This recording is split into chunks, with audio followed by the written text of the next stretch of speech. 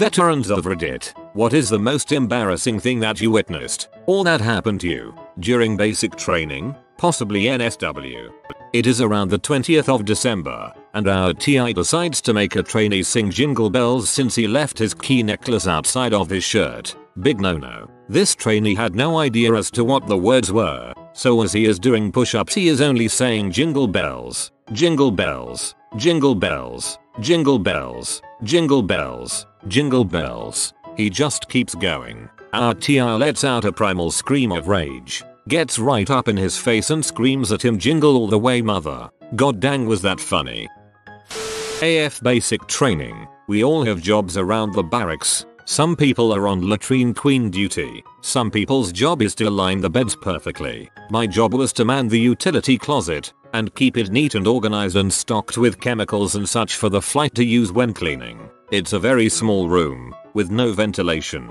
After the first two weeks of basic, I pretty much figured out what I was going to eat at every meal and rarely deviated. Peanut butter packet, honey packed, a piece of bread, and half a banana all smashed up together in the bread, and hawked down with a glass of Gatorade. Also usually some other crap depend on the meal. Well, the fifth week of training comes along, and something terrible happens to me in the chow line at dinner. No bananas, no honey, and only the crappy white bread. So I change my meal up. I had the spaghetti and meatballs, and some other crap I'm not sure of 100%. That night on details, I'm manning the utility closet. I feel this terrible gas brewing, or what my current sergeant likes to call bubble gut. I am trying to hold in this mother of all farts until such time as I can escape the closet and unleash this beast in the latrine. Apparently my altered dinner that night did not get along well with my plumbing. I end up giving up on holding in the fart and just cut a thunderous blast with it.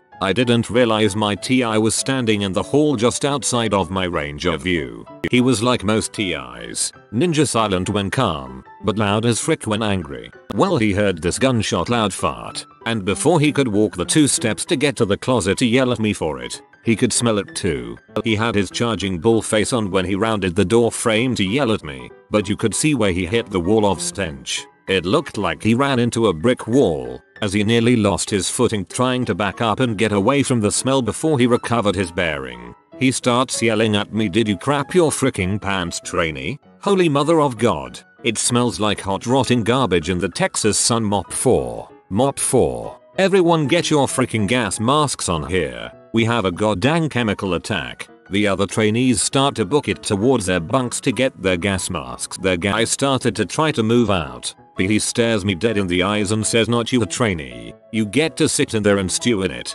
Yes and I replied. After the details were done he made me go check to see if I actually crap my pants in the bathroom, then told me that I had to stay in the closet until the smell went away. I stayed in the closet for nearly an hour after the details were finished in gas masks. He would stop by every 5 minutes or so and pop off his gas mask to see if it still smelled. He called me the fart monitor for the remainder of basic, and anytime he smelled a fart he'd ask me if I was crop dusting. Several weeks into training we were getting ready to go to the gas chamber the next day. We got issued our gas masks, and then everyone hits the showers. All of a sudden one of the guys whose bunk is near the latrine starts beatboxing the standard techno bass line. Untis untis untis. Out prances one of our class clowns wearing only his gas mask, like a banana hammock. Everyone starts dying of laughter until our drill sergeant walks in. Already pee off at we are being loud. Shut up. Toe the line. Oh what the frick. You know that is going on your face in a couple hours right? So he smokes the dog crap out of us. And the dude had to keep the gas mask on. Getting it nice and sweaty for the next day. Dude, your camp sounds awful familiar to something comma go to the gas chamber. Everyone hits the showers.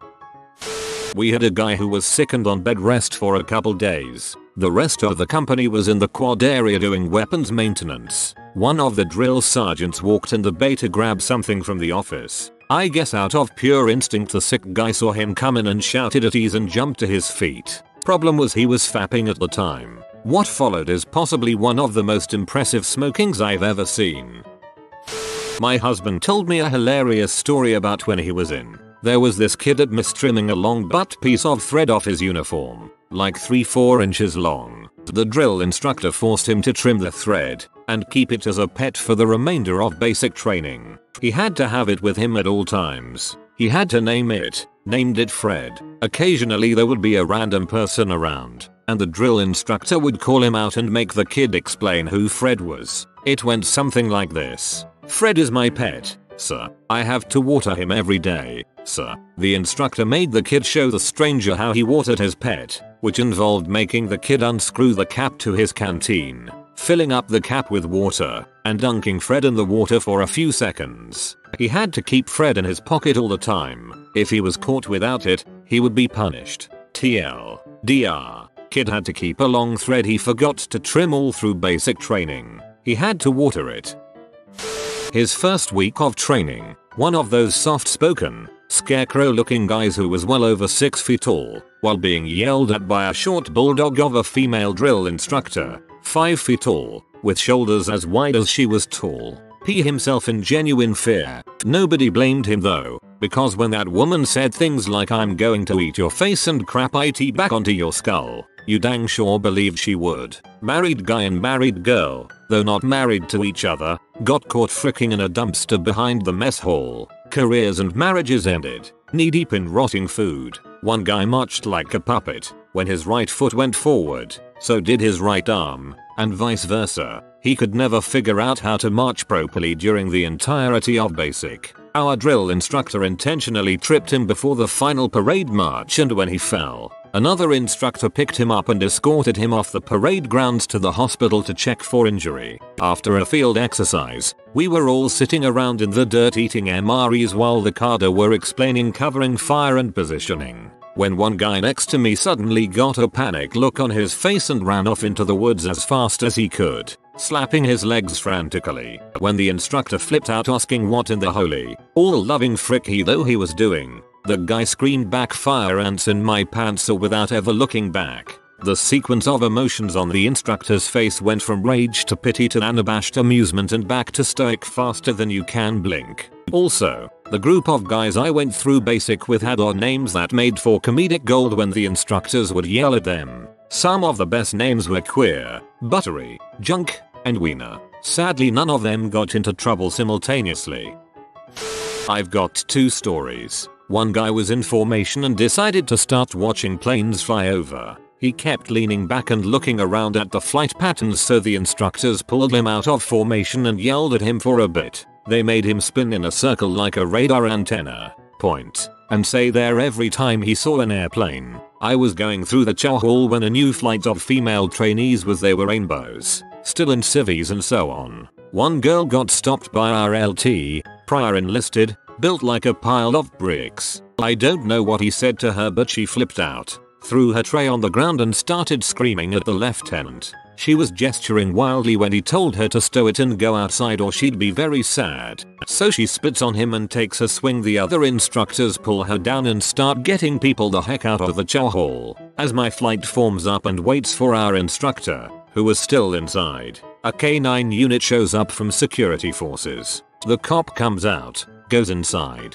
comes out with the girl handcuffed. She's flailing, screaming, and basically going insane. So she kicks his dog. As hard as she can I heard the thump from 40 feet away. So the dog bites her on the calf. We had some lectures after that one about people trying to go crazy to get out of basic and not to try it. One guy was in formation and decided to start watching planes fly over. He kept leaning back and looking around at the flight patterns so the instructors pulled him out of formation and yelled at him for a bit. They made him spin in a circle like a radar antenna, point, and say there every time he saw an airplane. This is the best punishment in the whole thread. Our platoon had to take our mattresses, sheets, blankets and pillows outside to the parking area between the barracks. I can't remember what the transgression was that merited this punishment, but probably because the DI thought the racks weren't tight enough. This is in San Diego in the summer, middle of the day. We had to arrange the mattresses in ranks and columns and make them tidily. Then we all stood on line at attention, and the DI would say sweet dreams. At a million miles per hour we got under our sheets and wool blankets in the afternoon sun and yelled sweet dreams. So then good morning, recruits, followed by good morning, sir, At which point we hurriedly made our racks and stood at attention. This was repeated over and over, for easily more than 10 minutes. I remember there was a handful of civilians walking by, who stopped to watch. It wasn't a Friday, which is when family members come for graduation, so I'm not sure who they were or what they were doing. Regardless, there were a couple girls among them,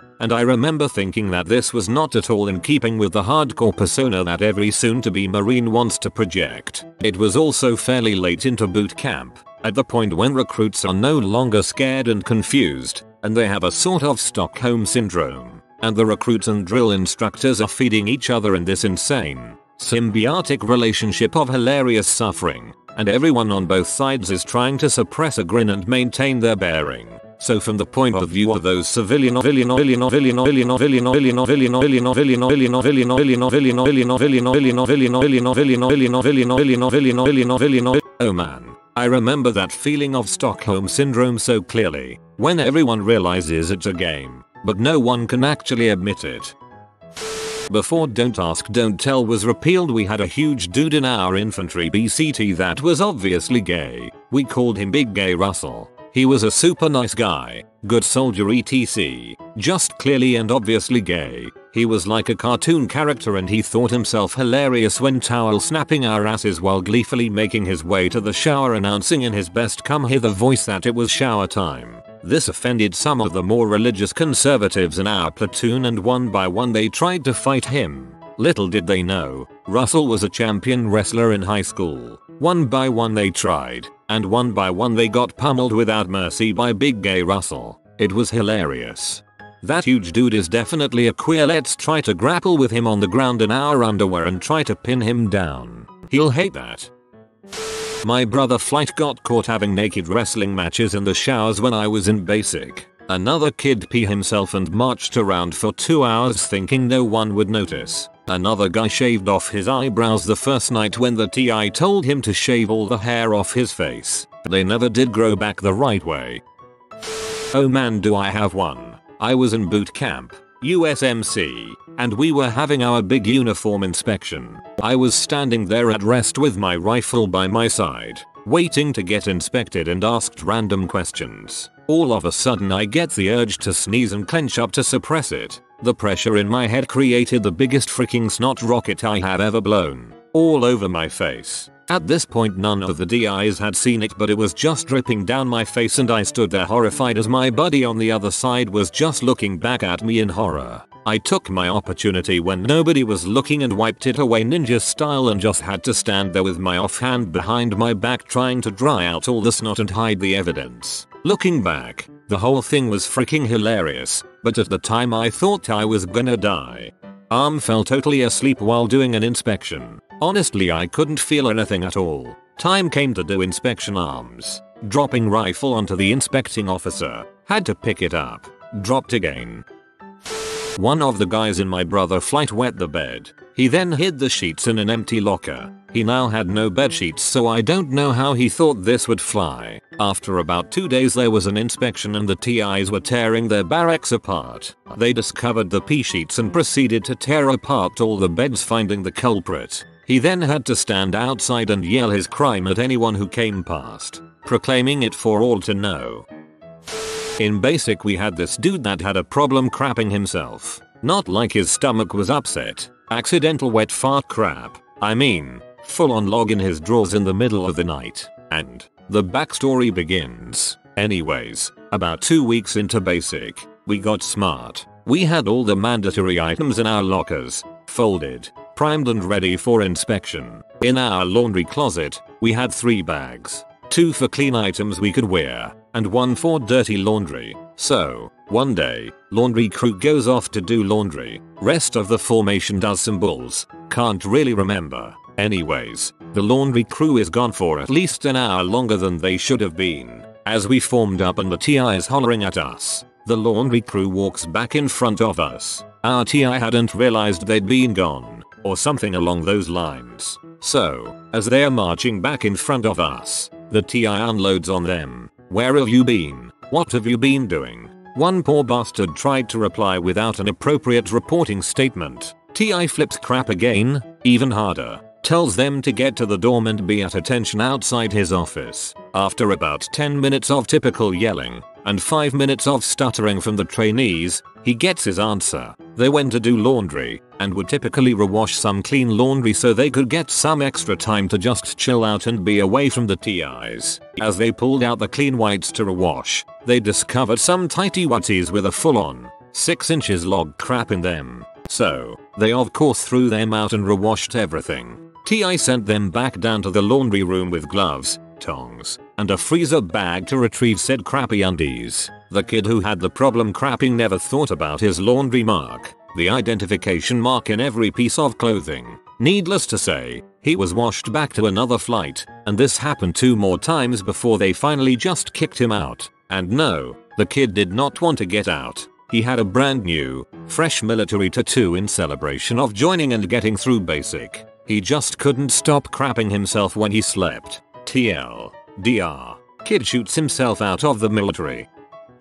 I had to escort a mentally ill person from my flight to the hospital and walk back by myself. When I got back to the barracks everyone was gone. I sat by the door for like 3 hours waiting when someone from my brother flight said my flight was at the dining hall, which ours was far away. So I walked all the way over there and they weren't anywhere to be found so I waited there for like an hour and then went back to the barracks. Turns out they thought I ran away and they were all looking for me. They eventually came back and found me and my TI told me to stand downstairs and wait for him. Soon after every TI from the 321st Training Squadron was screaming at me for like an hour. Didn't really bother me was just annoying. They all left and just my TI was there. He went over to this field next to our squadron, picked up 5 rocks, and said there are 5 rocks here with the numbers 1-5 written on them find them and threw them all. So here I am at like 9 at night searching for rocks with my Lachlan laser. I checked every dang rock in that field all night while my dorm chief was standing there watching me. Like 10 hours later I am still out there searching and I find a pen, but no dang rocks with numbers on them. So I write 1-5 on some random rocks and take them up to my dorm. Report into my TI and set the rocks on his desk. He picks them up one by one and examines them very carefully. Then says whose rocks are these? These aren't my rocks. All I can think is holy crap I'm busted. Do I figured I would lie a little more and say yes sir, these are your rocks. He calmly stands up sets the rocks on the table and says no, they aren't. My rocks didn't have numbers on them. Go to bed. I hope you learned your lesson. TL. DR. My TI was a dong. Should have told him that you wrote the numbers for him, since you saw that he had forgotten.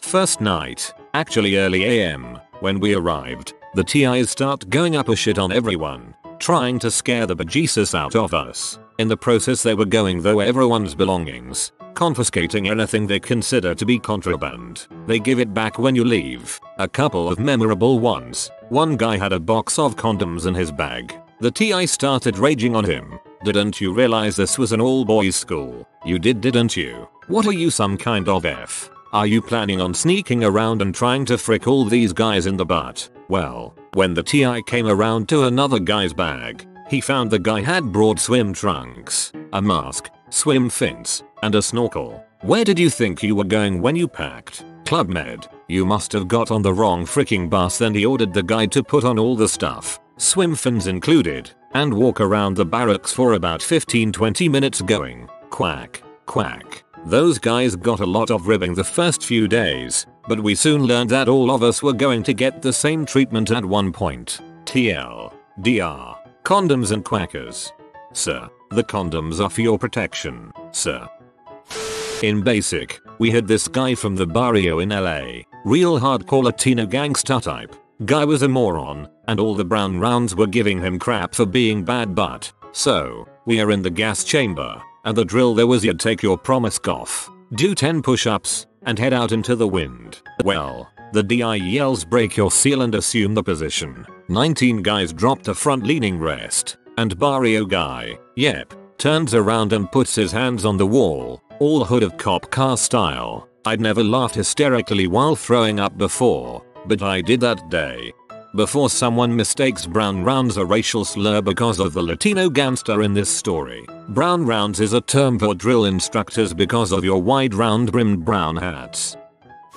Marine Corps here. One of our drill instructors yelled himself hoarse and had to be reassigned. His replacement came into the barracks and had the entire platoon stand on line. He ordered us to take off our blouses. So we took our blouses off. Then he told us to take our boots and socks off. So we did. Then off came the pants. Then our shirts. At this point we're standing in just our skivvy underwear and wondering WTF is going on. Finally, he ordered us to take our underwear off and you could just feel the awkwardness in the air. Talk about uncomfortable. We were all standing there completely naked on either side of the squad bay trying not to look down at the junk of the guy across from us. He then proceeded to call us to attention, had us do a right face, and marched our naked asses around the squad bay for the next few minutes. He was making jokes about how we needed to get our elbows to asses close, like we were accustomed to hearing for drill instruction. Finally, the senior drill instructor comes out of his hut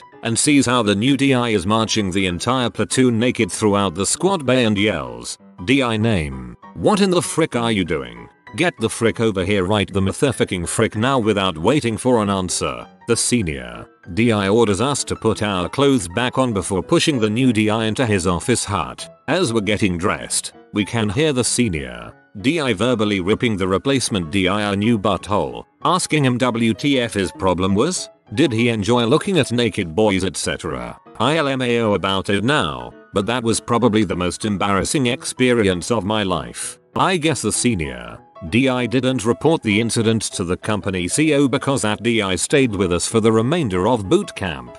I guess he didn't know that being a DI doesn't mean cruel for the sake of cruel. When I went to Marine Boot Camp there's a part about a weekend where the DIs come around and you need to claim all the tattoos and piercings you have had. Then they write it down so it's documented in your file. You stand there in your drawer so he can verify and write it down. When the DI gets to me he looks my heavily tattooed body over and asks what tattoos and piercings I have had. Starting with the tattoos. I rattle off all the tattoos I have. He seems a little pee that he had to write so much down. Then he asked me what piercings I have had. Up until I left for boot I had a Jacob's ladder and had just taken it out a week prior. I figured full disclosure was the best. Cause if it ever came up I didn't want to be accused of getting it after I joined. So I tell him both my ears and three piercings in my dong. He stops writing and looks up at me and just starts screaming. What the frick did you just say 3 in your goddamn dong what the Jesus frick are you fricking moron kids doing these days why the frick would any man put metal in his fricking dong are you or f explain this bulls to me. He was flabbergasted, horrified and pee off all at the same time. For the rest of boot and the first couple years of the marines my nickname was Metal Dong, then it just got shortened to Metal. Not a fan of dong piercings, but being nicknamed metal is, well, pretty freaking metal. DS, black female, started running contraband checks after pass. When she got to our female bay, she found a heavily used, rolled up pad in one of the wall lockers. DS then proceeded to smoke the owner in the hallway, with the pad duct taped to her forehead, as she lectured her about being a dirty bee. We were all forced to look on for the entire half hour. Good god, that's horrendous. A private in my platoon left his locker open and when confronted said it was an accident. They emptied every toiletry on the ground onto his uniforms. My senior drill sergeant made a private and his buddy stand in the bay hallway the one who left it unlocked did a duck walk up and down the bay hall quacking then every three quacks his buddy standing at attention would yell. Who has the best insurance and he would yell. Aflac every time someone passed the private at attention would have to yell please mom sir don't feed the animals.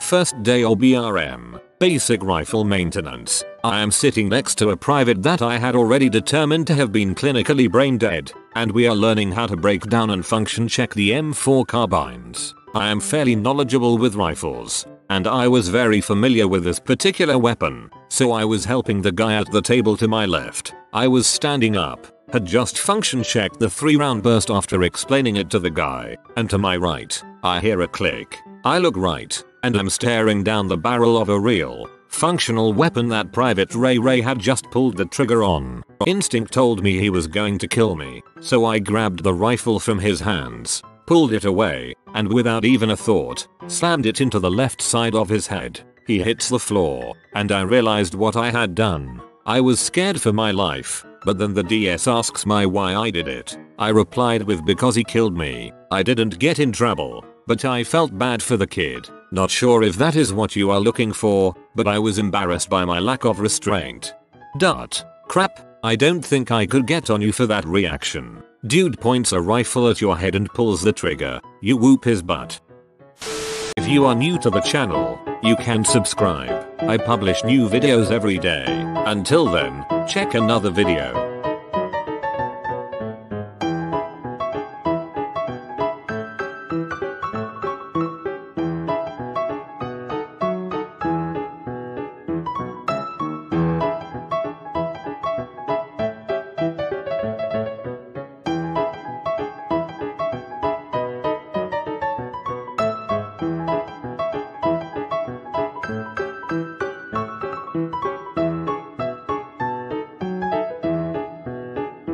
Bye for now.